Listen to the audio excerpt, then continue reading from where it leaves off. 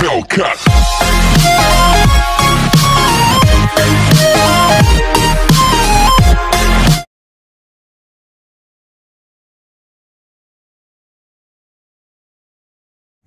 friends welcome back to my channel mister crazy Vamsi ఈరోజు మన experiment ఏంటంటే పెట్రోల్ని థర్మకోల్ని mix చేసి ఒక గ్లూ తయారు చేద్దాం మనం ఈరోజు ఈ వీడియోలో.